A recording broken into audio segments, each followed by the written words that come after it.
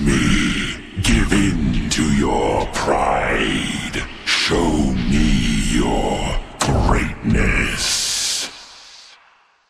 So second place, I believe, deck profile came uh, pilot, English, English. Thomas Rose here piloted this to second place at the Brotherhood Regional this past weekend, playing Phantom Knight, mashup with other jank.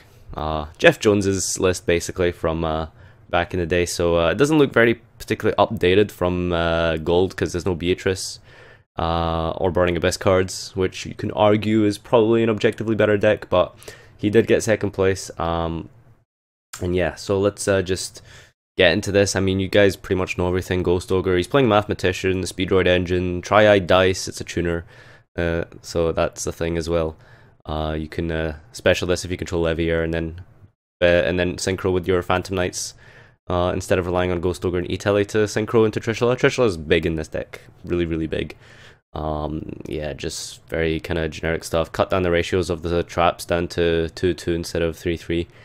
Um, obviously one flying scene the side deck, Gameciel. Now this is an interesting side card. He's playing Mischief of the Yokai. Uh, those of you who don't know what this is, each face-up monster on the field loses two levels until the end phase. You can remove uh, from play this card from your graveyard to select one face-up monster, reduce its level by one until the end phase. This cannot be activated, turn it sent to graveyard. So you can mill this with Dante, for example, and you can pretty much shut down your opponent's like turn. Uh, uh, just just by milling it. So because it's millable, it like makes it really good. I think Mischief of the Gnomes is like another card that kind of does the same thing, except it reduces the level by one.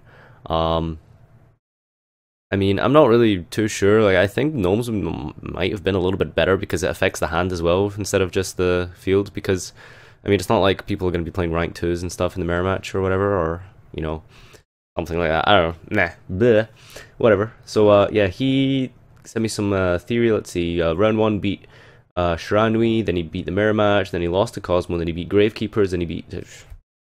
What?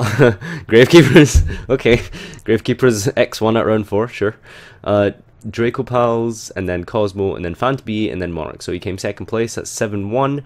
Remember, this is like a 150 to 200 man event, so a lot of people there. Biggest event in, in the UK. Um, Brotherhood's always gets good turnouts.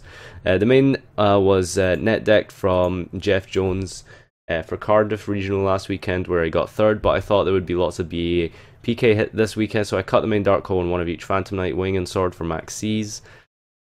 Kozmo's the toughest matchup, so I sided five for them. System Downs, Kaiju's, and then Monarch with the Mask of Restricts come in, and Dark Holes help disable Domain, so you can use the extra deck. Mischief the Yokai is kind of cool because you can use it twice or get value if it's milled with Dante. Um, so no, I don't see any particular reason why you'd play Yokai over Gnomes. Uh, Gnomes seems like it's just objectively better. Like, it's only one level, but I mean, it's like, it's not level 3, so it's like, you know, it's gonna mess up any deck that has like a consistent level range, I guess. I'm not sure. Uh, Speedroid Terrortop is the main deck MVP, and Trishula can swing a game hugely if you can summon it, but most of the time you just churn out the advantage with Break Sword. That card is just way too strong. Yeah, Break Sword is really, really good. Popping cards, bringing guys back, making Nightmare against Pepe, and the Thanatos against Pepe is always really good if you can make it 3 3. Rebellion can be massive and just like gain so much advantage by constantly popping your own swords and back row and shit like that. It's really good. So this has been your second place type profile, guys. Thanks for uh, watching and stuff as usual. let me know in the comment section down below what you think, and I shall see you next time. Now that you've heard our whispers, it is only a matter of time until you belong